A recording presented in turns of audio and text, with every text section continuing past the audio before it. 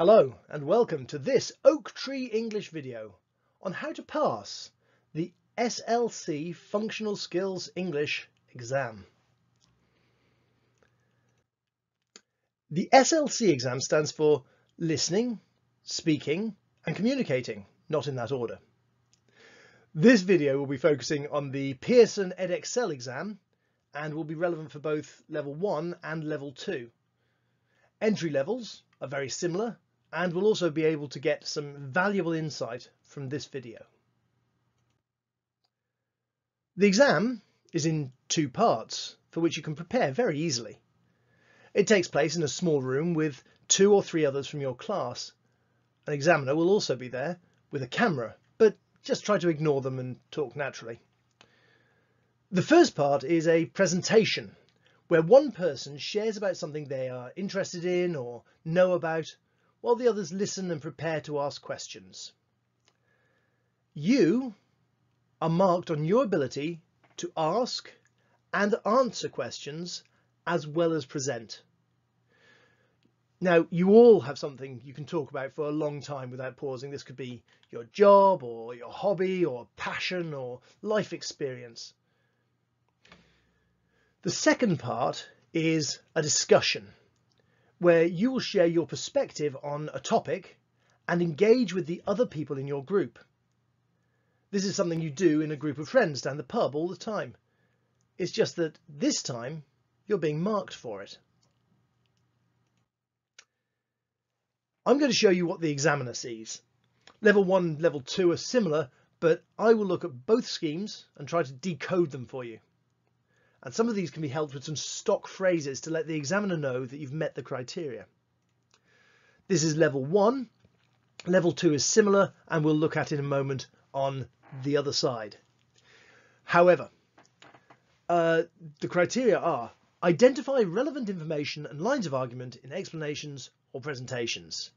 You can show that you're meeting this, this identifying relevant information by saying, you said when you start to ask your question.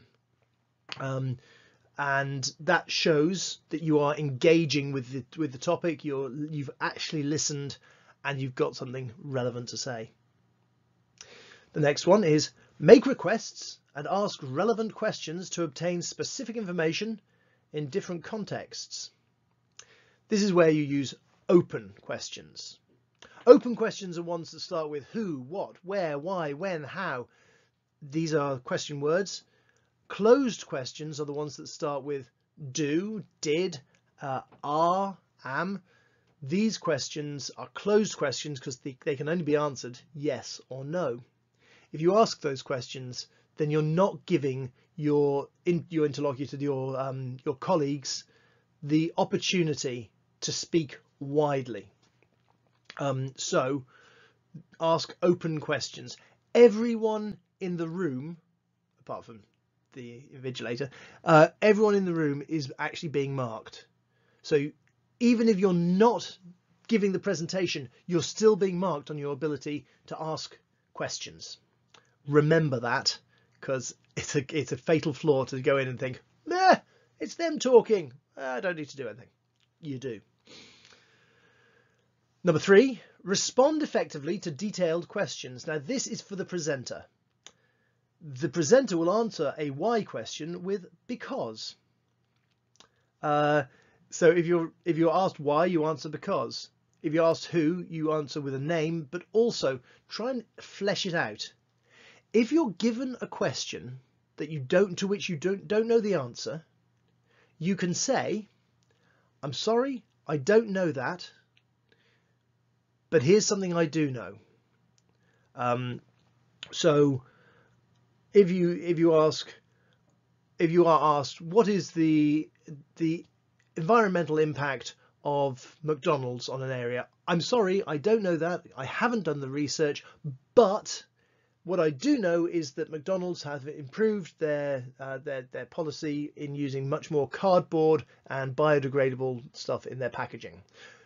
By the way, I'm not advocating for McDonald's. They still have bad grammar, and until they change their slogan, you should still be boycotting them just on grammatical grounds. Just saying. Um, However, that's something that you could uh, you could say. I don't know that, but here's something I do know. The next criteria you'll be marked on is to communicate information, ideas and opinions clearly and accurately on a range of topics. Okay, this is uh, this is quite a fun one. You just have to communicate clearly. This is something you do naturally. You communicate with your peers naturally. You don't need to think overthink it. And the last one at level one, use appropriate phrases, registers and adapt contributions to take account of audience, purpose and medium. Keep it appropriate. That means you are in a speaking exam. Be aware that you're in a speaking exam and don't break into uh, Cockney rhyming slang. That's for you Londoners. Uh, don't break into um, West Midlands patter, my, my Brummy friends. Uh, don't break into uh, slang, don't break into um, swearing. You know who you are, don't do it.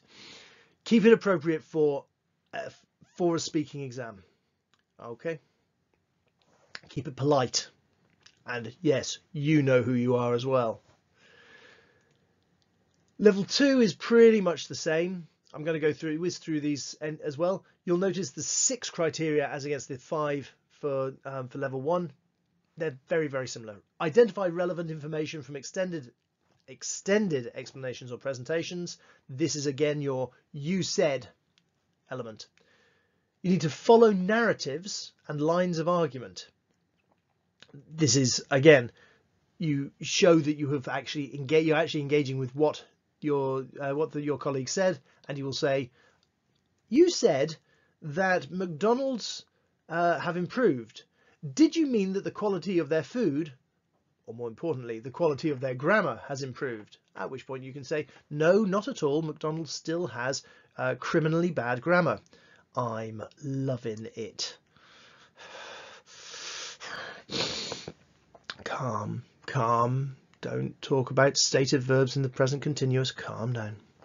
Okay. Uh, the third third one you'll be marked on is respond effectively to detailed or extended questions and feedback. This is the same uh, as level one. And this is where you can say things like, I don't know the answer to that particular question, but here's something I do know. Try and make sure you extend your answers and give a full answer um, and for those of you asking the questions, don't interrupt them. Also, for those in, uh, asking the question, don't go into your own speech about your what, about your perspective on the topic. No one cares. You're all there to pass an exam, not to have a philosophical discussion. The next one, make requests and ask detailed, pertinent questions to obtain specific information in a range of contexts. So this is where you say, you might say something like, could you explain more about this particular aspect of your talk?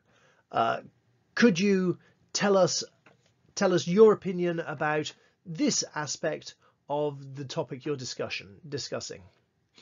Um, you and you ask questions based on what you have just heard them say. The next one, very similar.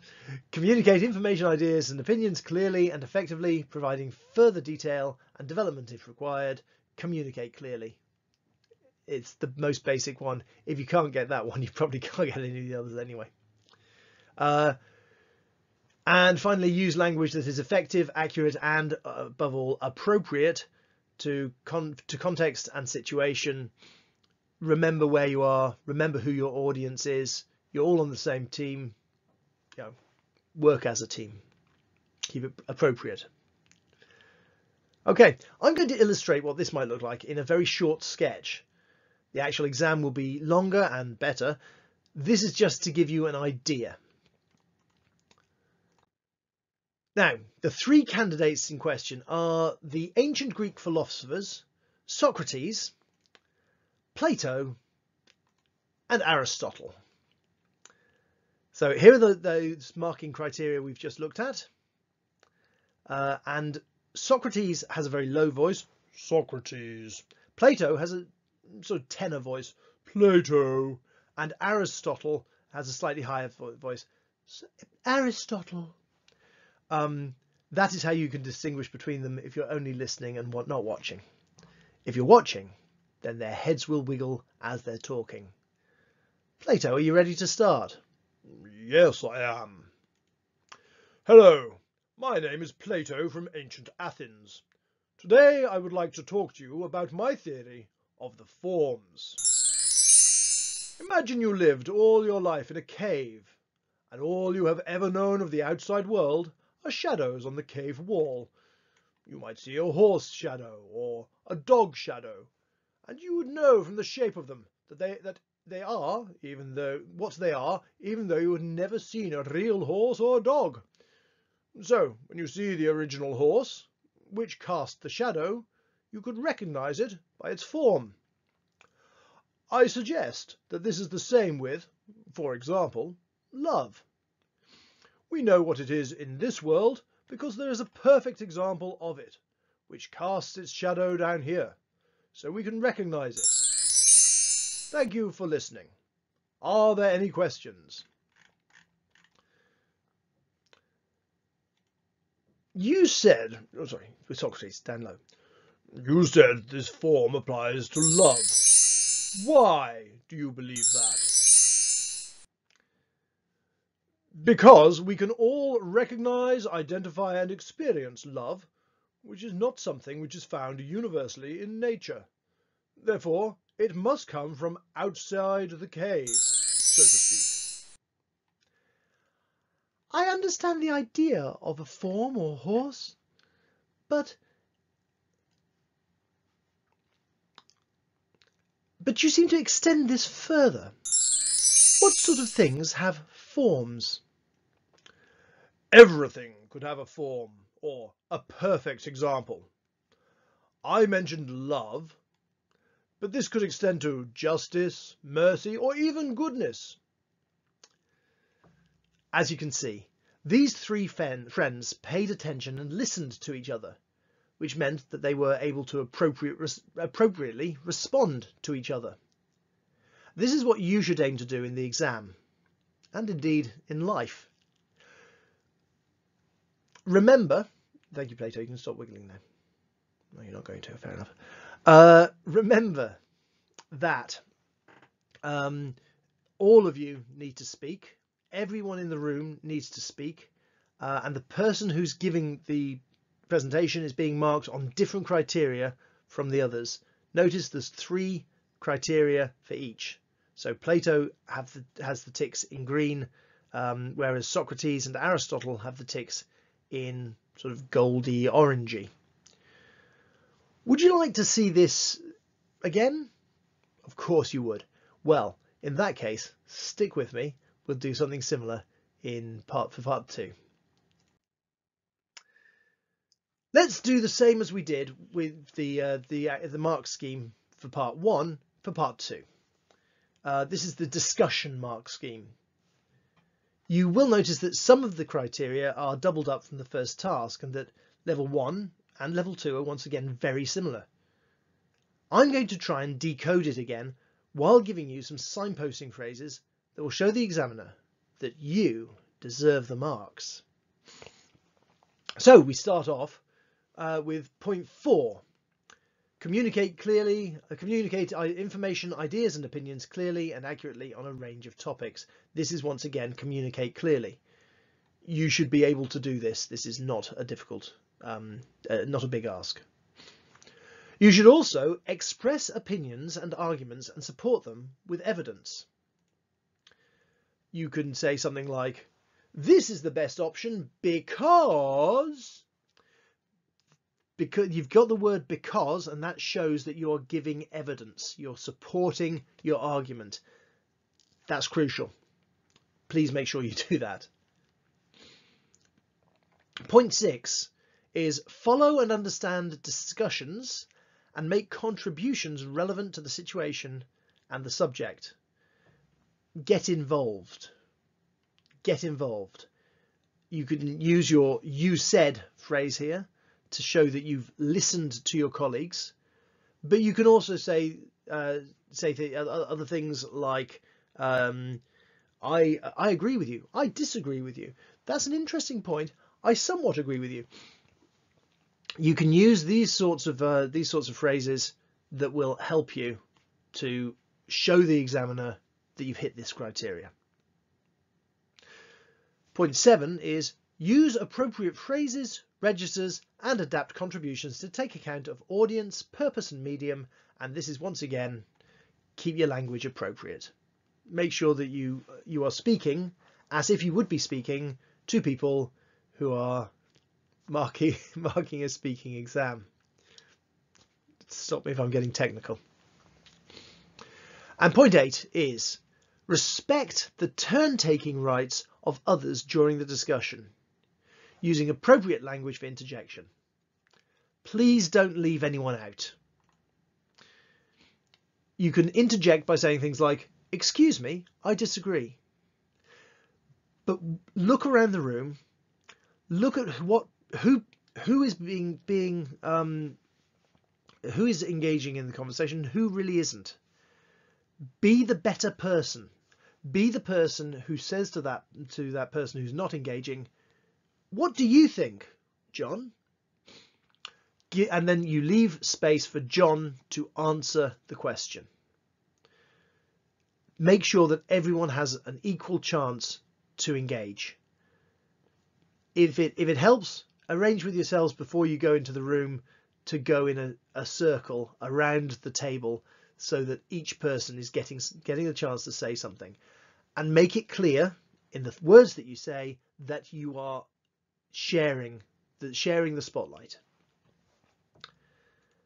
Level two is almost the same. Once again you'll see there's there's one extra. So there's five uh, five criteria and at level one there's six at level two Let's have a look at what they are.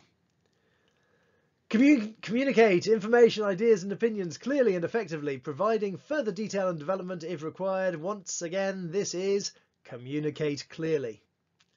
Make sure you, that you're, you're speaking and you're putting your point of view across. Then you have express opinions and arguments and support them with relevant and persuasive evidence. Again, you want to be presenting your evidence I think this because of that. I believe this because this tells me so. Uh, I have done I've done this research and that has given me this opinion. Backing back things up with evidence. Imagine you're on Judge Judy or Judge Rinder if you happen to be in the UK. Use language that is effective, accurate and appropriate to context and situation. Once again, appropriate language. You're in a speaking exam, act like you're in a speaking exam. Make relevant and constructive contributions to move discussion forward. Now, this is quite a good one. Uh, I think this, and you. Um, so particularly useful, by the way, if John is not speaking, he might be not speaking because he has nothing to say on that subject. You can subtly change the subject very slightly. So if you if the um, the topic is environmental impacts, then you could change it from littering to pollution, for example. Um, and though John may have no impact, no interest in, in, littering, he may be very interested in pollution and get his input input there. So that's that's a, a good a good thing to do. Adapt contributions to discussions to suit audience purpose and medium. Be polite guys. Don't don't be don't be sort of the sort of animal that uh, swears at their colleagues. That's not okay. Um, be polite. Be gentle. Be courteous. Do unto others as you would have them do unto you as uh, someone very wise once said. Interject and redirect discussion using appropriate language and register again treat people with respect. We are all uh, we are all human beings, and therefore we are all we are all deserving of respect. Now, would you like to see how that works in practice? Of course you would. So, our three friends, Socrates, Plato, and Aristotle, are now in a discussion about the idea of education. Listen to the type of language they use to meet the criteria. I've put the level 2 criteria down the side there, uh, just behind Aristotle. So have a have a look at that and see if you can match what uh, what is being said. This is a discussion about education, as I said. We're starting with Socrates. I think the only the, that the only true wisdom is knowing that you know nothing. What do you think, Plato? I partly agree, but I also believe that if a man neglects education, he walks lame to the end of his life. For example, a fisherman may be a great thinker, but unless he learns how to express and develop his thoughts, he limps through his intellectual life, never achieving his full potential. Aristotle, what is your view of education? I greatly benefited from studying under you, Plato, and I saw my favourite student, Alexander the Great, go on to great successes after my tuition. Excuse me. I believe it is the mark of an educated mind to be able to entertain a thought without accepting it. So I can see merit in both perspectives. I like that idea, Aristotle, but I wonder why education has to happen in a school or Plato's academy. He is richest who is content with the least, for contentment is the wealth of nature. Do you both agree? Of course, I am convinced that academic institutions like my academy, or modern schools, colleges and universities, are valuable. But books give a soul to the universe, wings to the mind, flight to the imagination, and life to everything. So there are certainly other ways to learn.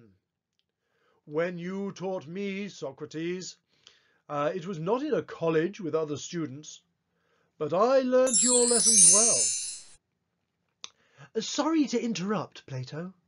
I would like to say I learnt well from you in a different environment. Plato and Alexander was homeschooled by me. So there are many effective forms of education. I suppose quality is not an act, it is a habit. Thank you, boys. As you can see, each of the friends shared their perspective and shared the conversation. No one was left out, and despite having different opinions, they all remained polite and friendly throughout. This is what you should aim to do in your exam and in life. To practice this skill, you can spend time in court. The the public gallery, please don't uh, get yourself arrested just to practice your debating skills. Or Speaker's Corner if you happen to be in London. Or down the local pub. You will always find someone who's willing to debate you on something. I hope you've enjoyed this video uh, and the philosophical and the content, as well as the uh, various rails against McDonald's. Um, and I hope you will use it to pass the oncoming exam. Thank you for listening. Please feel free to like, share and subscribe to Oak Tree English uh, so that you can know, keep abreast of further developments in functional skills. Thank you.